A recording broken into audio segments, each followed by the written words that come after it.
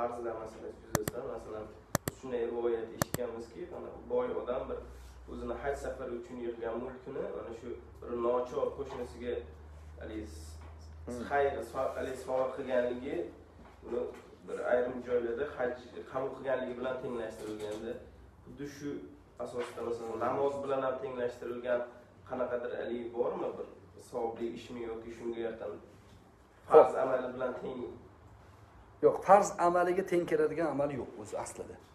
Farz amali deganda faqat namozni farzi emas. Masalan ba'zi amallar ham farz bo'ladi. Masalan ahli ayolingizga rizq halol rizq topib kelishi ham farz. Sizga yuklatilgan masalani mas'uliyatni bajarish ham farz. U ham farz alohida farz. Lekin bir farz ikkinchi farzni o'rniga o'tmaydi.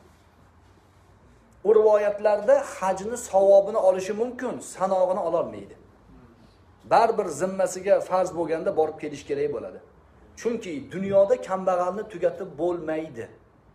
Qo'lingizdan kelgancha kambag'alga yordam berasiz zimmangizdagi hajni ham ado qilasiz.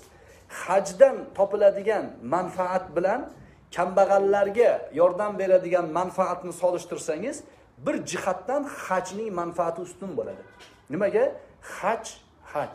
Butun musulmon ummatini qalbini birlashtiradigan joy. Birlik bor bu yerda.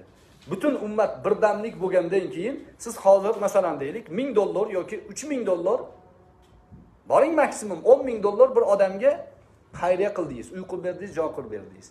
Lekin hajga borsangiz hajda juda katta jamoat bilan ko'rishdingiz. Katta katta boylar bilan tajriba almashdingiz. Va endi siz o'n ming emas yuz ming bir million dollar foyda qiladigan saviyaga chiqdingiz. Chunki safarda boshqa odamlar bilan aloqa bog'landi. Endi kelasida bitta emas o'nta yigirmata kambag'alga yordam berasiz. Buni kelajak boshqa manfaatlari bor. O'shaning uchun hajni ha kambag'alga yordam berish kerak lekin birinchi marta qilayotgan odam hajni qilib olish kerak. Ikkinchi martasiga endi bu gapni qilsa bo'laveradi. Hajni savobini boshqaga sarfla desa bo'laveradi. Haj alloh taolo buyurgan farz.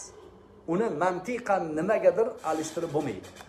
Namoz haqida ham gap ko'p. Masalan chegarada turgan qo'riqchi bir soat bedor turishligi oltmish yillik sajdadan afzal degan. Oltmish yillik. Afzal bo'ladi bir soat turib berishlik. Lekin bu oltmish yillik namoz nafl namoz farz emas.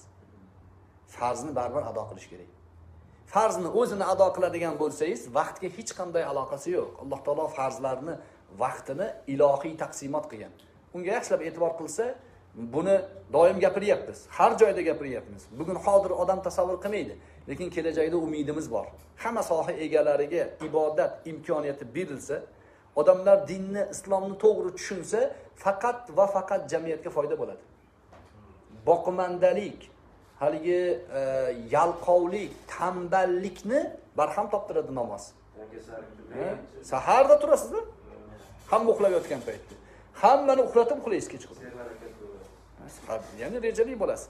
O'shaning uchun farz ibodatlarini o'rniga o'tmaydi hech bittasi. Masalan kabada bir rakat namoz yuz ming rakatga teng. Darajasi teng uni. Soni emas. Ikki rakat namoz o'qiysiz ikki yuz ming rakat namoz o'qigan savobini olasiz. Lekin bomdodni farzini o'rniga o'tmaydi. Qazolarni o'qish kerak baribir. Shuncha daraja oldim bu qazolar e, yo'qolib ketdi deyilmaydi. Qazolar o'qiladi. Musulmon odam baribir ibodatga qalbi oqib turishi kerak. Qilolmagan taqdirda ham man qilishim kerak deb turish kerak. O'sha insonni qutqaradi. Inshaalloh bir kun imkoniyati tug'ilganda u o'sha yaxshilikka qo'l uradi.